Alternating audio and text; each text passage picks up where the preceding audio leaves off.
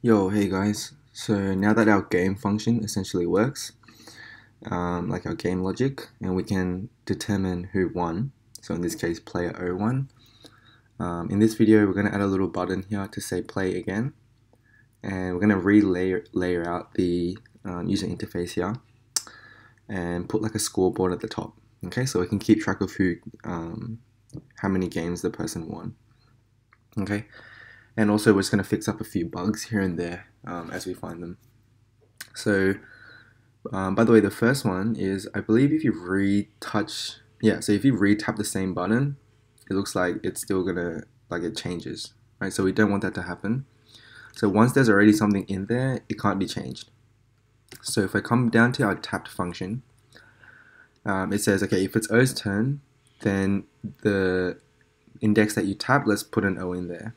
Okay, I'm going to put an extra condition and say if it's O's turn and there is nothing in the position that we're about to go in. Okay, so there's no, there's um oh sorry I should say there's nothing. Right, so if it's O's turn and in that box there's blank, then let's put an O. Okay, so it has to meet both of these requirements. So I'm going to put that um, I should say else if.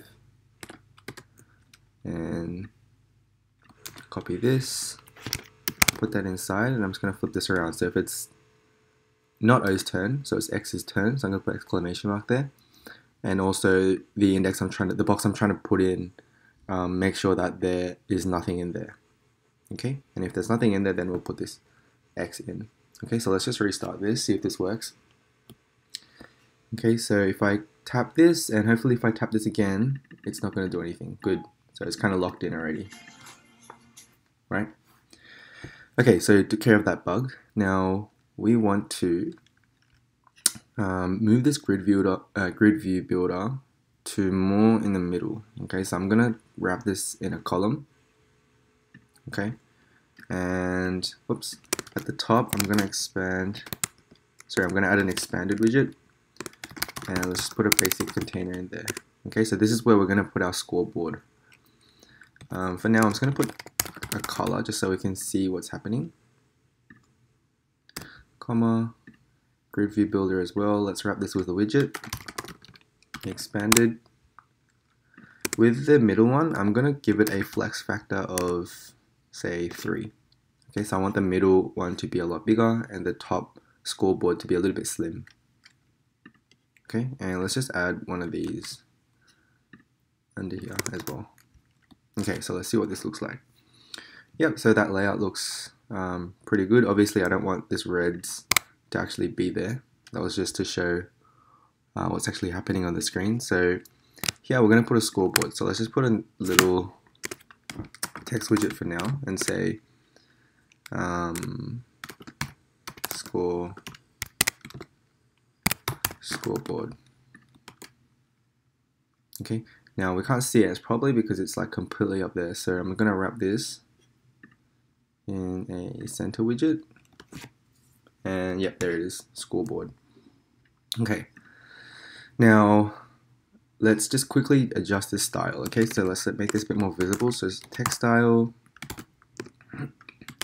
Let's make this color white and also the font size. Let's make it 30 okay much better. Now oh, when we display the scoreboard um, I actually want to say okay player X and player O and just have a number representing um, their score under it. Okay so instead of having a text widget what I'm going to do is oh sorry instead of having a text widget just right in the middle I'm going to have to use a let's use a row Okay, so I'm gonna say put a row here. And let's put a text widget and say player X. Oops. And let's say player O. Okay cool. And let's make this main axis alignment in the middle Okay, so that basically just spreads it out into the middle.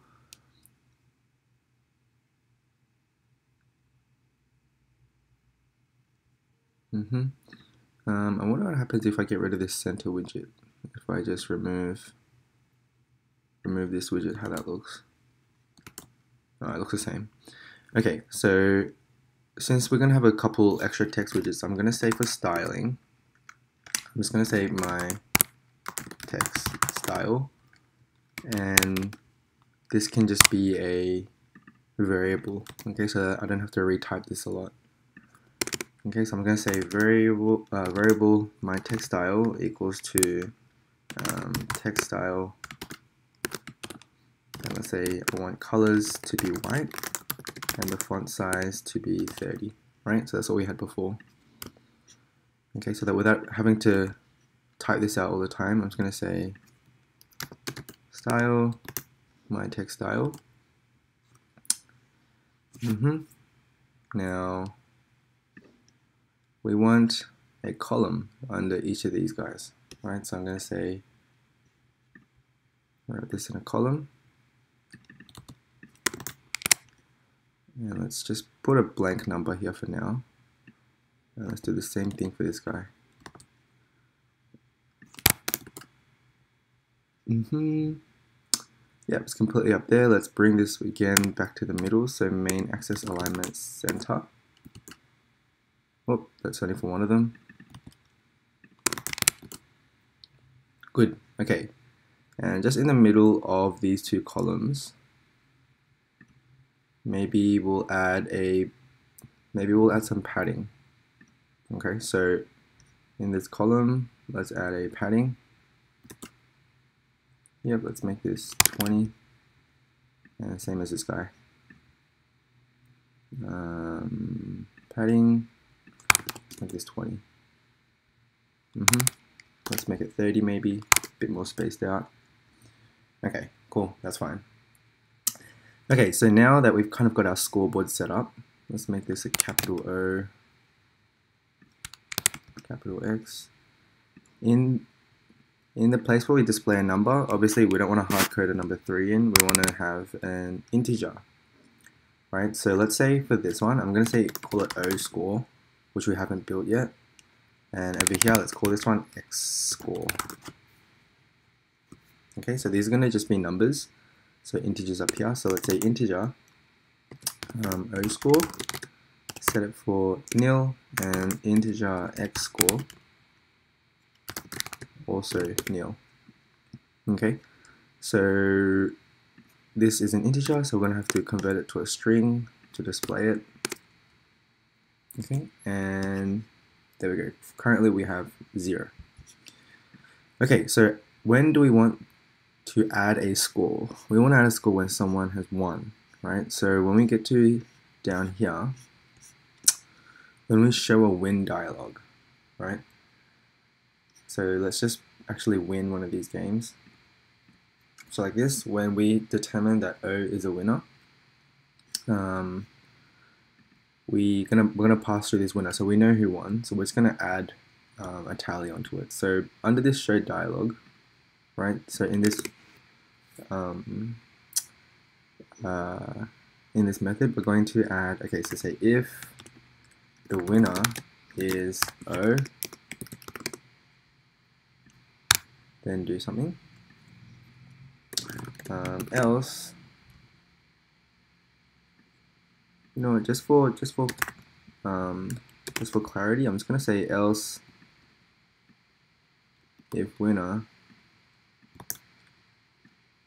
is x, then let's do something. Okay, so if the winner is O, then O score, oh, not, not O turn, O score is going to be, we're going to increment by 1. Okay, so that's what this plus equals to sign means, by the way. It's the same thing as saying O score plus 1. Okay, so you can do that, but this is just a shorthand version of it. Okay, so same thing down here, x score plus 1. Okay, so we're going to increment by 1 every time someone wins. Okay, and also the last thing we're going to do is we're going to add a um, button here so that we can play again. So currently if I just tap outside, it just goes back to, you know, the current board, right? But every time someone wins, we want to clear the board and restart, right? So let's say uh, we're going to have a method called clear board. Okay. And for the clear board, we're only going to trigger it once someone won, right? So clear board. Um, actually, we didn't add a button here yet, did we? So let's come back to our alert dialog. And under this, if we go to actions, here we can add a button. So I'm just going to add a flat button. And when this is pressed, that's when we're going to trigger the clear board. Okay, and what this button is uh, intended to do, let's see, does this have a text? No, it's just got a child. So let's just put a child text and say, uh, what are we saying? So play again. Okay, and once they hit play again, we're going to clear the board. Um, and there was one other thing I needed to do. I think it's up in show dialog where, yep, there's this barrier dismissible. And I'm going to set this to false. So what this property is, is when the alert dialog shows up, I'm going to get rid of this. When the alert dialog shows up, you know how I can tap, tap outside anywhere on the screen to get rid of the alert dialog? This is just telling us you can't do that. Okay, so let's just get O to win. Right, cool, there's our play button, and because I made this because I made this um, barrier dismissible false, I can't click outside to get out of it. Right, um, that's just a preference thing for you, but I'm just going to set it like that so that the player has to play, has to click this button. Okay, cool. So now when I click this button, I need this uh, alert dialog to essentially go away, right? So um, on our pressed function, let's say, okay, and here, we're going to do a couple things. We're going to to clear the board, of course. Um, and also, we're going to say navigator dot um, of context, and we're just going to pop. Okay, so what that's going to do, is that's just going to get rid of this um, barrier. Okay, so let's just save this, see if that works. So dun, dun, dun, dun, and play again, and it goes away. Cool. Okay, sweet. So everything's done. We even got the player O having the extra score there. And the last thing to do before we wrap up this video is to clear the board. Okay, so in each of these nine boxes, we just want to put a blank space in them. Okay, so you can do that manually nine times, or we can use a for loop. Okay, which is going to uh, cycle through. Okay, so say starting from integer of 0, and as long as it's less than 9, since we have a total of 9 boxes, and we're going to increment by 1. Okay, and we have display xo i, right, so it's going to go through from 0 to 8, all, all 9 of them, and we just want to set it to be nothing. Okay, and I think I think that should be it. Let's just give this a test one last time. Okay, so let's let O win. Yay, winner is O. Can't tap outside, you have to play again. And it didn't trigger the didn't trigger the clear board. Hmm. Oh yeah, that's because I didn't set the state. Ah, I always forget that. So set state so if I, so I think I explained it a few videos ago, but if you don't do the set state, it's going to change these values, but it's not going to show it. Okay, so the set state just means let's rebuild, let's rebuild our build function here. Okay, that's within this state. Okay, so one last try. Let's let O win. Winner is O. Play again. Cool, and then O gets 1. Let's make X win this time. And the winner is X. And it's just 1 versus 1. Good. And also just the way this game logic is, is set up, the way we set it up, um, the person that won, oh sorry, the person that lost will be going first. Right, so in the game of tic-tac-toe, going first is probably a bit of a more advantage than going second. So if you lose, um, it's going to be the other per it's going to be their turn in the next game. Okay, so in the next video, let's just focus on um, cleaning up the UI and changing these fonts, making it look a little more polished. Okay, but essentially that's the actual game there itself. Okay, if you guys want to just change the looks of it, then obviously you guys are free to, to, go, to go ahead and do that. But yeah, in the next couple videos, I'll just clean this up a little. Sweet. Thanks, I'll catch you guys in the next one.